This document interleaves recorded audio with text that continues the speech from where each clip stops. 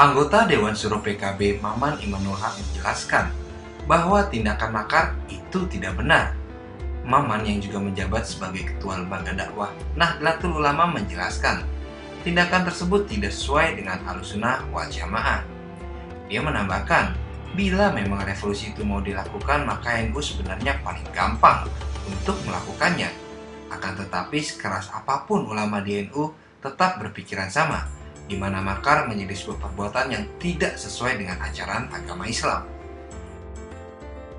Dengan beberapa kiai, uh, ada hal saya kutip langsung ke ujung aja dulu bahwa kalau mau revolusi, NU sebenarnya uh, paling gampang untuk menggerakkan revolusi.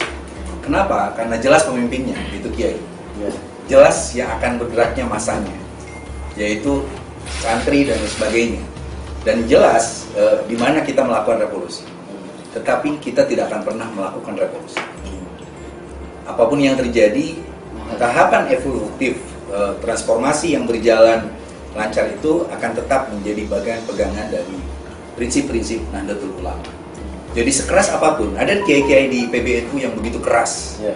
tetapi ada yang begitu dari yang kanan sampai ke kiri itu ada semua, tetapi semuanya sama bahwa uh, tindakan anarkis, makar, uh, makar, bugol itu tidak ada dalam konsep alusunah wal